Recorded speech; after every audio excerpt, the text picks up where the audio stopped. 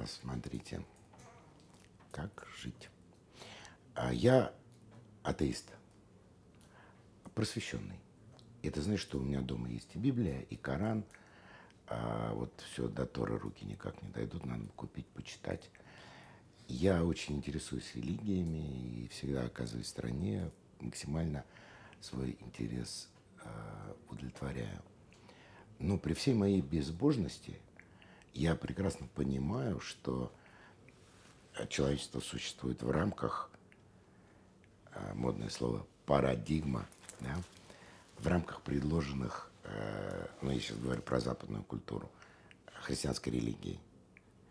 Вот, причем интересно, что э, Бог же не дурак. Он, когда вручал скрижали Моисею, он не, не пригласил его в магазин и не сказал, ты выбери, пожалуйста, что тебе хочется.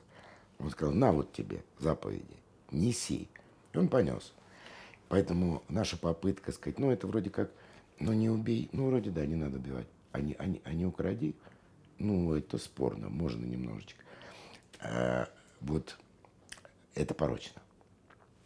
Это система. Выбирать как в магазине набор продуктов нельзя я не чувствую себя в силах оценить. Может быть, мы находимся уже на том этапе, когда эта система устаревает. Институт брака, например, претерпел такие колоссальные изменения с тех пор, когда были скрижали написаны, что, быть может, да убоится жена мужа своего, а в сегодняшней ситуации работающей жены и мужа-бездельника, а, может быть, уже и не работает. Но я не чувствую себя достаточно умным, для того, чтобы оценить и сказать, все, ребята, пора-ка нам менять заповеди на другие.